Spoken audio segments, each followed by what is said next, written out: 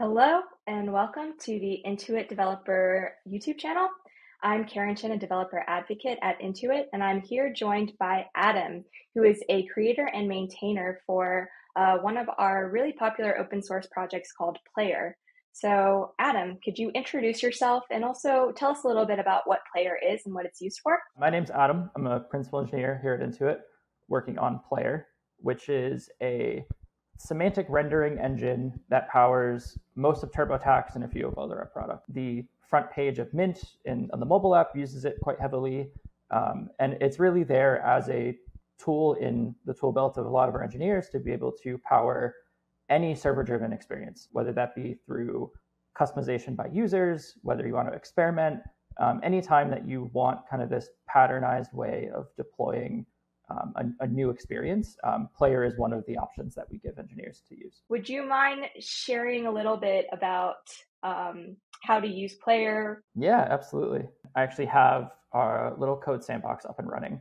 Uh, and this is just our getting started guide. I just went through it and kind of copy pasted it into Code Sandbox. Player is is powered almost entirely by this plugin uh, model, um, and we really took inspiration from just how much stuff you can accomplish with uh, something like a Webpack architecture, where you can load anything you want. You can load different files. You can change the kind of fundamental behavior of Webpack just through plugins. And that's really what we wanted out of Player. We wanted maximum configurability, maximum just out of the box ability to customize this to be what you want. So for our kind of reference example set, we actually pull in this asset library and assets are our kind of leaf low level kind of composable components.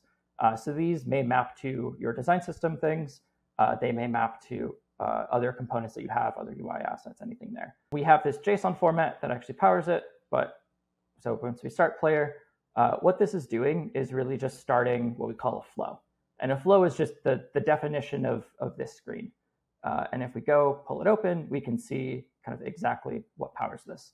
So we have this set of assets. Here we have this title, and this title just says hello, and you can see that painted on page. Um, and as we go through, you'll see different kind of UI elements that map to different user inputs. Uh, so here we have one for in, input asset, and this input asset is going to map to this location in our data model. Um, and we can actually see this down below where we have this initial data set. And player in its entirety is, is reactive. So it as you change data, uh, everything that references it will get updated.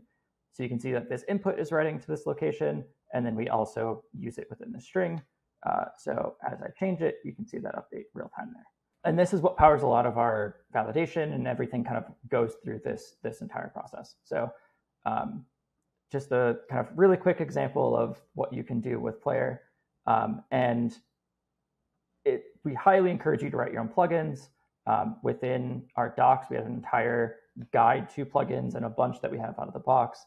Uh, you'll see some of these are shared cross-platform. So anything that has the React logo or Apple or Android are all have cross-platform variants, uh, including our the asset plugin we were just looking at. What made you decide to create Player? One of the main starting points was really kind of the it, it evolved out of the tax space. If you look at TurboTax and look at just the complexity and number of screens we have to deal with, trying to hand code all of those individually would be near impossible. There's tens of thousands of different variations of a flow a user might go through. And really, to get that personalized experience, we need to be able to dynamically change how we navigate across it.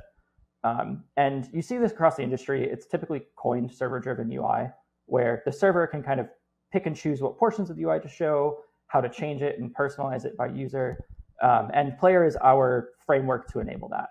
So we, we rolled this out for TurboTax and then made a, a really generic version as we saw more and more use cases come up. And that's why we targeted open source. Uh, one of the big pushes for, for us was if we have to support kind of the, the complexity of use cases across both Mint, TurboTax, um, QuickBooks, really any Intuit product, at that point, we're generic enough to be able to support kind of anything in the industry, and we really wanted to kind of push it to be an, an open source project. So, what are some of the like use cases that you see Player going on to, like outside of Intuit? Player thrives at when you have kind of a, a broad range of different pages you want to show, or, or a, a, kind of a, a larger area of uh, opportunity to go tackle.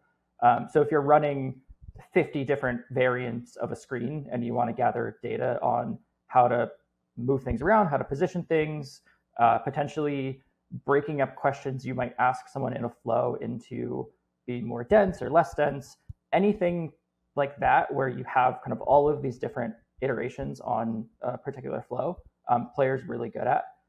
And it, it plugs in really nicely with existing design systems. So typically how you would roll it out is once you kind of have an established baseline of you know this is how a user might go through my product or get onboarded you can then kind of take your flow move that into player and then be able to experiment iterate change everything on the fly. And it's really powerful especially on mobile as we all know that deploying things on mobile is kind of painful. You have to go through the whole review process with the app store and updating things can take a long time. So being able to push changes to not only the user experience, but also fixing typos, which I myself am notoriously bad at. Um, and, and anything like that, uh, players really good at. So it sounds like it's a really great tool also for A/B testing as well. Um, in, in the way that you you can like set it up to uh, render different screen and flows and, and kind of play around and, and mess around with um, different user journeys. What would you say you would need to know to get your hands wet with player? Like, what level of development do you need to know? What languages specifically? We aim to be as kind of generic out of the box, what you would expect to use as we can. Um, so for whatever platform you're integrating with, if it's the, the front end web, uh, we currently expose kind of a React uh, entry point for it, um, or Swift UI or Android if you're on Android.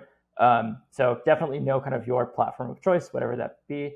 And all of our kind of core modules and everything is written in TypeScript. So if you're looking at extending any of those or writing your own custom plugins, uh, TypeScript can be super handy. Other than that, it we, we hope to work out of the box and, and just be as I guess as normal of a framework as you can imagine. Um, so trying not to lean into anything too too domain specific, um, but there there are some some things with with player that uh, you may run into.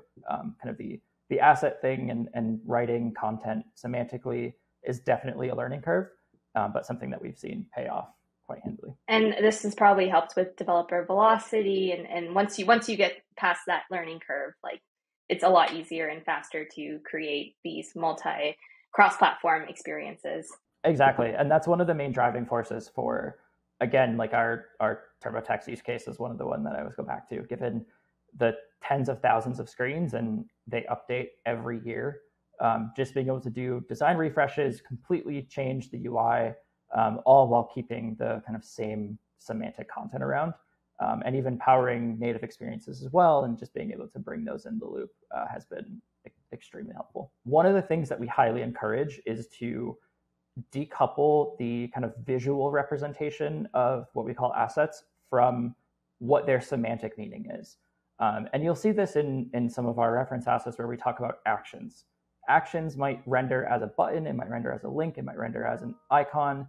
It can be very contextual based on what platform you're on, what other content is around you. Um, and that's something we really encourage. Um, so, really, it, it's about how do we empower teams to be able to ship experiences really, really quickly, and then have kind of a, a central team per platform or just design team dedicated to what those experiences translate into for their respective UIs. So you can have the exact same content power a very, very different looking native iOS Android app, a web app, something. Uh, even one of the things we're, we're working on today is around kind of chat based experiences, especially with everything ChatGPT. Uh, players actually used in, in that as well. And the same kind of question answer based navigation flow, uh, player can power because it's just another representation of that same kind of semantic data. I'm also glad that you brought up AI because that was actually one of the questions that I had since it's such a hot topic right now. Um, is there any uh, current like model, like AI model that you're using to power a player, or how are you using like Gen AI, for instance, or ChatGPT, and how are you integrating it with the, the player platform? There's a few different integrations for it. Um, one is just around authorship. And one of the reasons that we wanted to lean into a standard React DSL for for editing or, or authoring content is exactly so we could lean into all of the tooling built around it. Um, so everything Copilot, every you know Chat GPT based stuff, we can as long as we have that asset library to trade it on, um, which we can because it's all in our code base. Uh, all of those tools just kind of work out of the box and help you author content. The other side is really how do you take Gen AI or, or just AI in general and be able to use that to dynamically configure an experience for a user. Um, so when we talk about like the server being able to serve up content and then have the player play it, we can actually plug in AI into that whole process so that we can train the model to generate a new experience based off of that particular user on the fly. Um, and player can can just render that content as it sees fit. Um, so there's kind of two different realms we can we can look at it. One from a kind of dynamic user experience generation, and one from the tooling perspective. Um, but player is you know helps with both of those, and, and it's really been cool to to see all the progress being made there.